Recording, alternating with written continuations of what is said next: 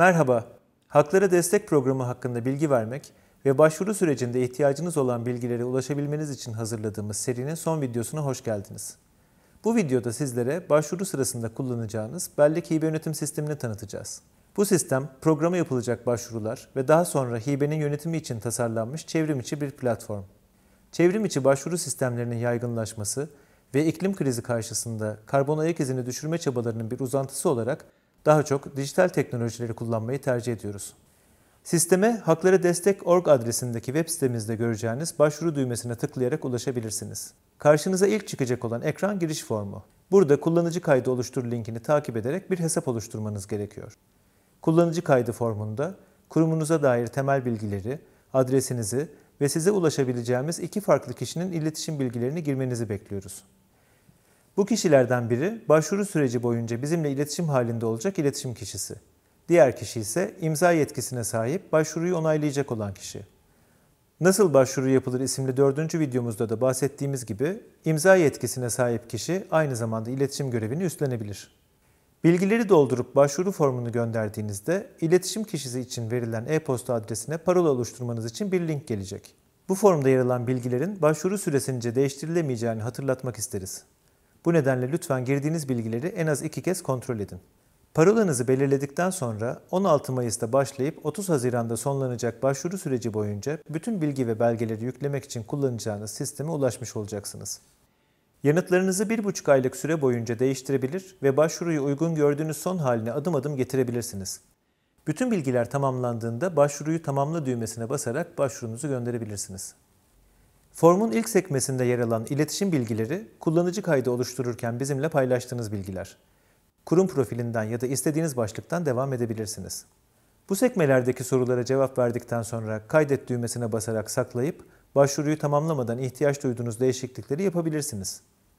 Bu metin kutucuklarında yaptığınız değişiklikleri kaydetmeyi unutup bir başka sayfaya geçecek olursanız, kutunun sağ altında otomatik kayıt ile yaptığınız değişiklikler saklanır. Geri döndüğünüzde hangi bilgiden devam etmek istediğinizi seçebilirsiniz.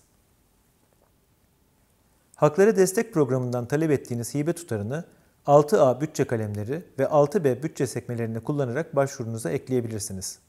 İlk adım bütçe kalemlerini oluşturmak. Bütçe kalemleri sekmesinde ekle düğmesine bastığınızda bir bilgi penceresi açılacak. Burada gireceğiniz kalemin hangi ana kalemin altında yer alacağını seçiyorsunuz. Bu konunun ayrıntılarını serinin 5. videosu olan Bütçe Nasıl Yapılır'da izlemiştiniz. Videoda örnek olarak bir çalışanın maaşı, posta masrafları, ofisin taşınması ve yürütülecek bir faaliyet için gerekli bütçe kalemlerinin girişini göstereceğiz. Maaş kalemi için ekle düğmesine bastıktan sonra bir insan kaynakları başlığını seçerek yine ekle diyoruz. Yenilenen pencerede bütçe kalemi başlığı girebileceğimiz bir alan geliyor. Bütçe başlıkları her zaman numarayla başlamalı. İlk insan kaynakları kalemimiz olduğu için rakamla birinci yazıyor ve çalışanın ismini giriyoruz. Sırada ikinci kalemimiz olan posta masrafları var. Ofis giderlerinin parçası olduğu için dördüncü ana kalemi seçiyoruz. Ekle düğmesine bastığımızda öncekinden farklı olarak seçeneklerin olduğu bir ek satırla karşılaşıyoruz. Posta kargo başlığını seçerek ekle diyoruz. Bu seçenek hazır olduğu için bir başlık girmemize gerek yok. Taşınma masrafı da dördüncü ana kaleme ait olduğu için yine dördü seçiyor. Bu kez diğer seçeneğini kullanıyor ve bir ofisin taşınması başlığını yazıyoruz. Sıra geldi faaliyet bütçesi eklemeye. Altıncı ana kalemi seçerek faaliyetin başlığını giriyoruz. Faaliyetlerde her harcama mutlaka bir faaliyet başlığının altına girilmeli. Yani birden çok harcama kalemi varsa üst kalem hep ilgili faaliyet başlığı olmalı. Faaliyet kalemleri tamamlandığına göre sıra miktarları girmeye geldi. 6B bütçe sekmesine geçiyoruz.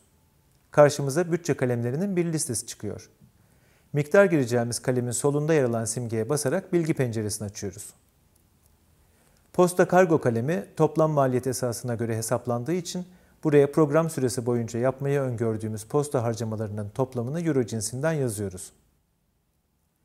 Diğer kalemlerde süre ya da adet cinsinden birim belirleyip kaç birim harcama yapacağımızı ve her birimin maliyetini giriyoruz.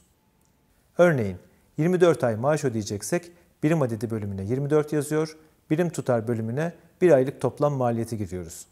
Kaydet düğmesine basarak tabloya döndüğümüzde sistem o kalem için istenen toplam miktarı hesaplıyor. En alt satırda ise istenen hibe miktarı toplanıyor.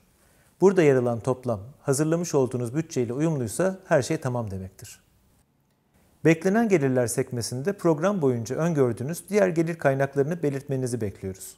Tablonun altında program boyunca beklenen diğer gelirlerinizin toplamını görebilirsiniz.